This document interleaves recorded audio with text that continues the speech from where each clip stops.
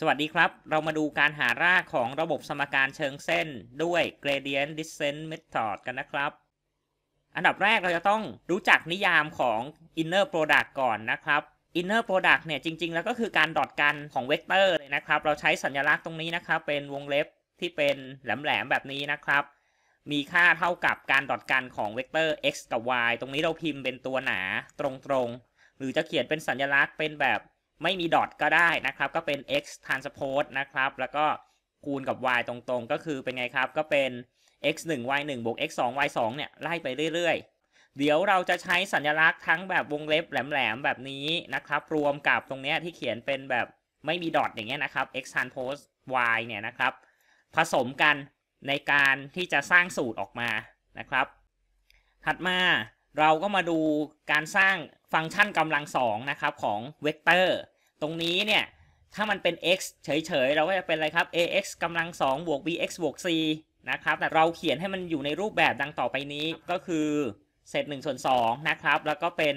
ผลคูณภายในของ x แล้วก็ a times x นะครับ ตรงนี้ก็คือเป็นเมทริก a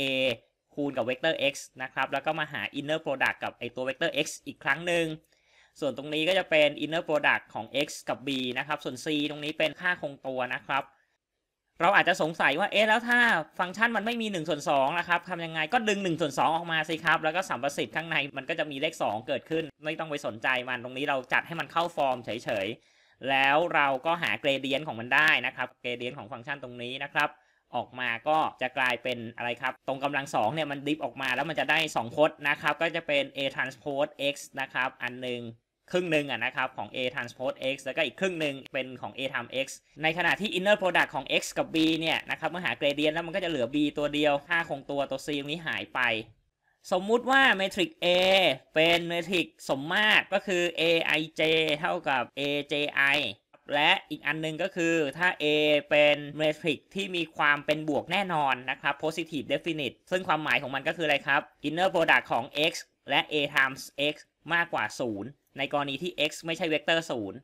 ถ้ามันเป็นเมทริกสมมาตร แล้วเป็นเมทริกที่มีความเป็นบวกแน่นอน ตัวเกรเดียนของควอดรติกฟังก์ชันตรงนี้นะครับ มันจะลดรูปเป็นอะไรครับ มันจะลดรูปเป็น a times x ลบ b แล้วก็มันจะเกิด local minimum นะครับ ก็คือเป็น จุดต่ำสุด เฉพาะที่เมื่ออะไรครับ ax ลบ b เท่ากับ 0 หรือ a times x เท่ากับ b ซึ่งก็คือระบบสมการเชิงเส้นของเรานั่นเอง ดังนั้นรากฐานของการหารากของระบบสมการเชิงเส้นของเราก็คือเป็นการหาจุดต่ำสุดเฉพาะที่ของฟังก์ชันควอดรติก ยกตัวอย่างเช่น ถ้าเรามีเมทริก A นะครับ เป็นอะไรครับ เป็น 3 2 2 6 ตรงนี้เป็นไงครับ ตรงนี้สมมาตรนะครับ ก็คือไอเนี่ยเลข 2 เห็นไหมครับ ที่ไม่ได้อยู่ในแนวทะแยงเนี่ยมันเท่ากันเห็นไหมครับ แล้วก็ตรงนี้เป็นเมทริกที่มีความเป็นค่าบวกแน่นอน อันนี้ผมไม่ได้พิสูจน์ต้องไปอ่านในชีตเพิ่มเติมนะครับเวกเตอร์ b ก็คือ2ลบ8แล้ว c ก็เป็นค่าคงตัวเป็น0นะครับเมื่อแทนค่า a b c